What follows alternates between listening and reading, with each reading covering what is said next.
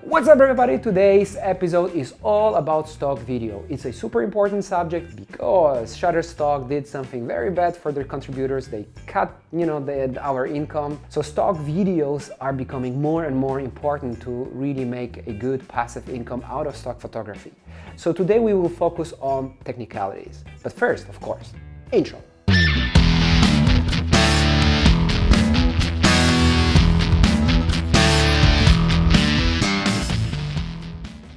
If you are asking yourself, what do I need to start stock video business? You maybe think that you need some, you know, crazy epic red camera with some crazy lenses and you need to bring sliders and gimbals and all this stuff everywhere. And good news is that is not true.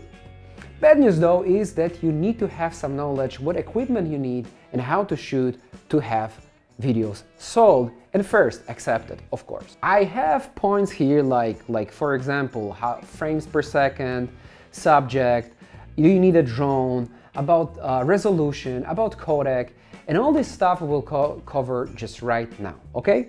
So first, let's start, let's start with question that I've been asked by many videographers that are just starting out.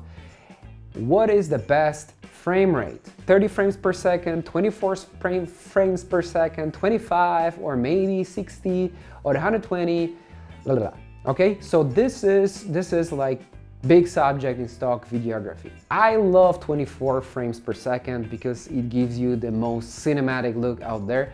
And all my videos that I shoot in a studio or my vlogs are shot with 24 frames per second. Though having said that, I noticed that it is not the best frame rate for stock videography because it may be used in some, you know, broadcast agencies.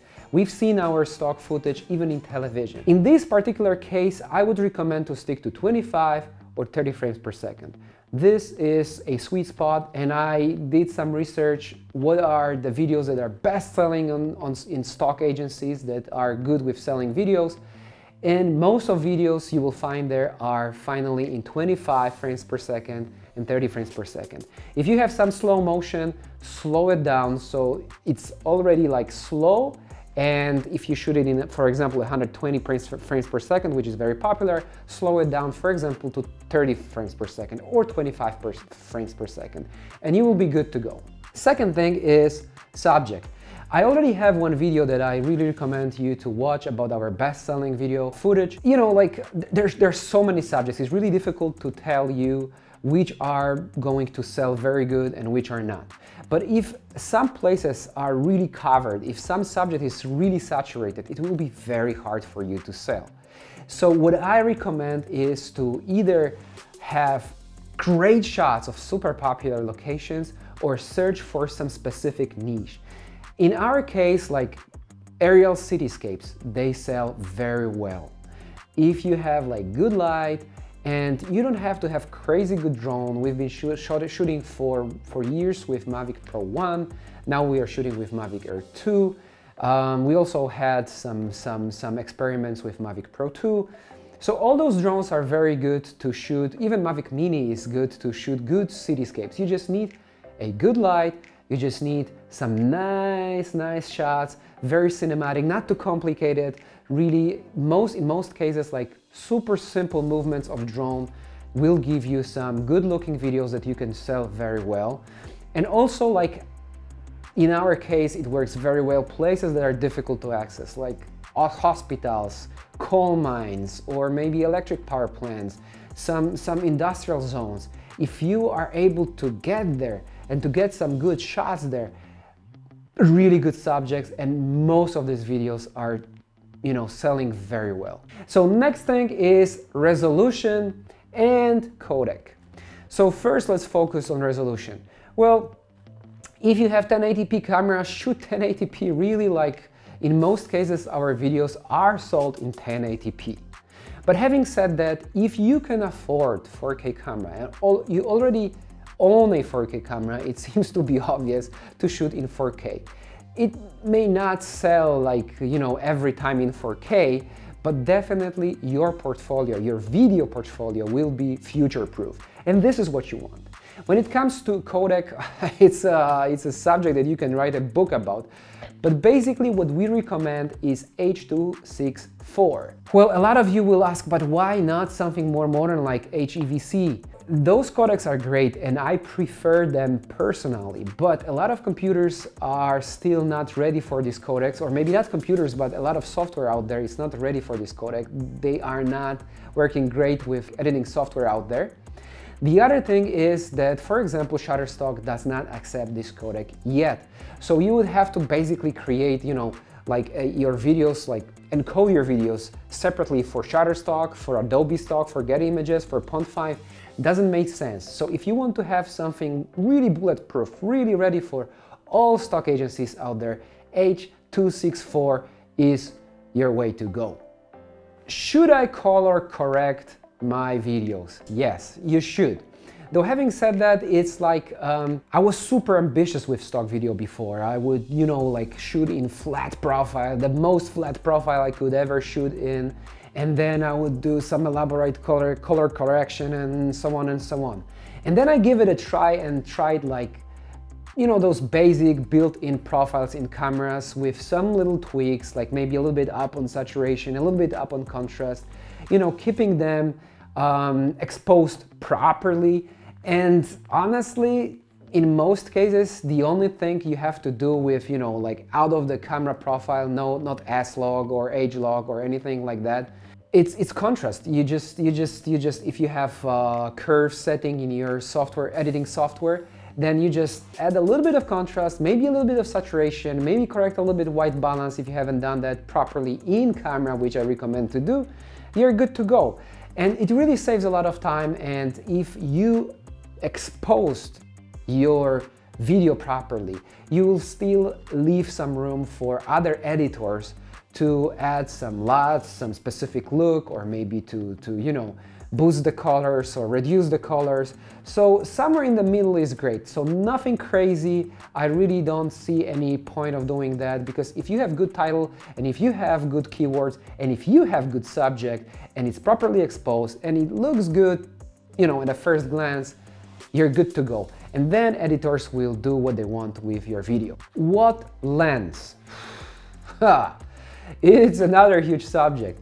So basically, in most cases, what we use, we used wide angle zoom because we did a lot of traveling and wide angle zoom is a super, super universal tool. It allows you to capture beautiful places that are really small. Like if you are, for example, in coal mine, like we have good videos selling from coal mine, those spaces are really narrow. So wide angle zoom works very well. But even if you have this like uh, popular for full frame cameras, 16 to 35 zoom, on 35 you can have even some close-ups, some details and have some, you know, beautiful creamy bokeh. If you only want to work with prime, I would say 35 millimeters, some bright 35 millimeter lens will do great job. We also love 50 millimeters millimeter lens, which is great for food, in my opinion, for some like nice details.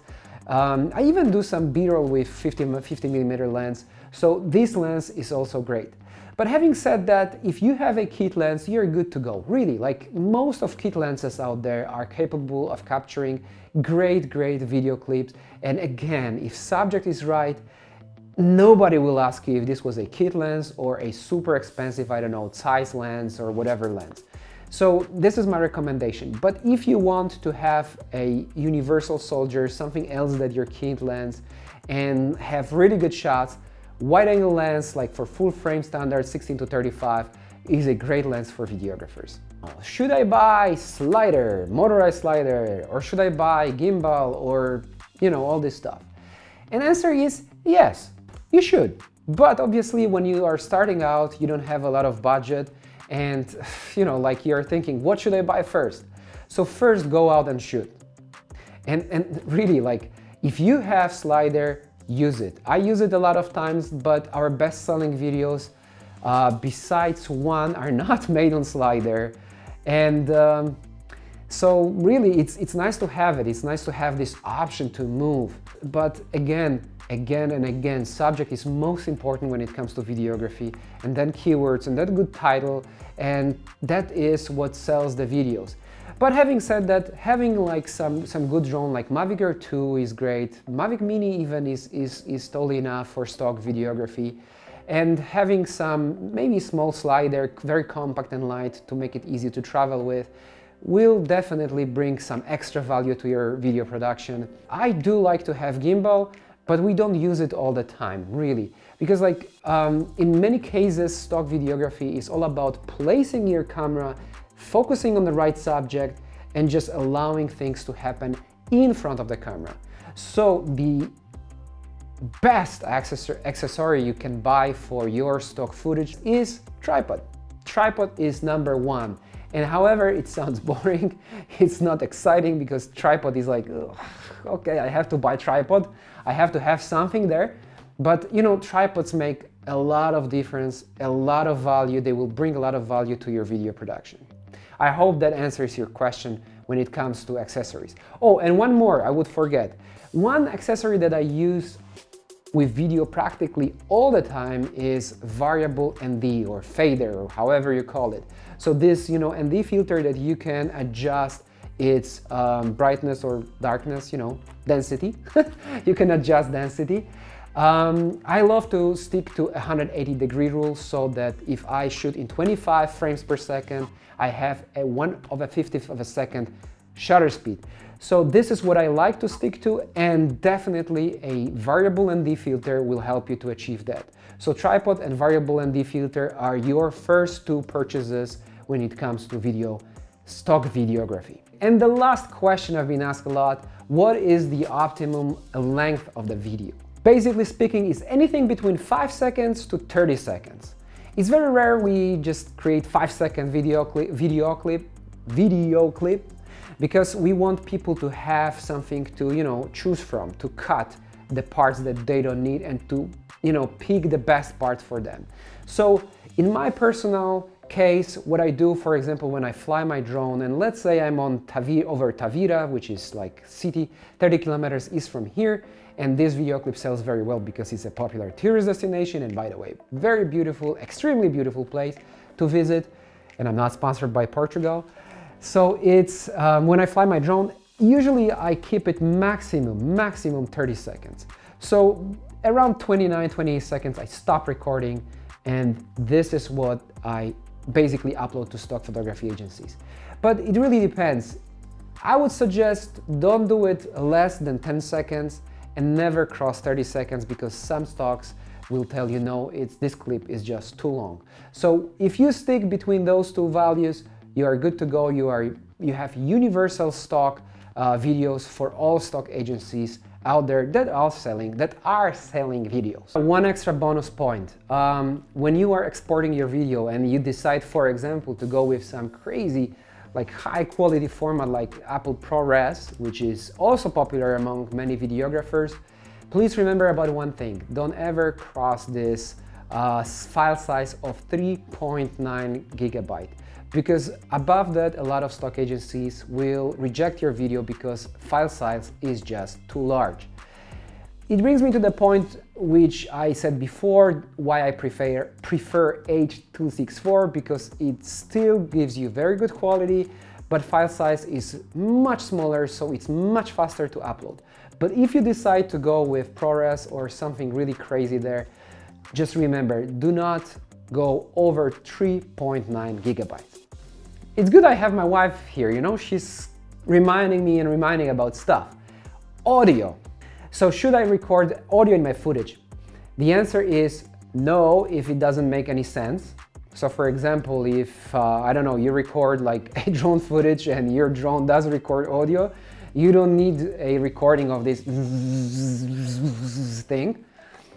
But if it does make sense, for example, you know, you want to include ambience of the place and there are no recognizable voices, or you are basically recording some, some music and you have it, you know, like copyright and you can sell it, then of course you can include audio. But if it doesn't make sense, don't include any audio because this video will be rejected because your audio is basically bad. If you have more questions, if you want us to, or us, I mean me and my wife, because we work on this project together, so if you want us to answer more questions about stock videos, which is becoming more and more important subject for all stock videographers and photographers out there, please don't forget to leave comments below. Like I will try to answer all your questions or maybe we'll create extra episode about stock videography. So I hope you found it entertaining and I hope you found it informative or educational. And I see you guys, of course, in the next episode. Yeah, see you next episode.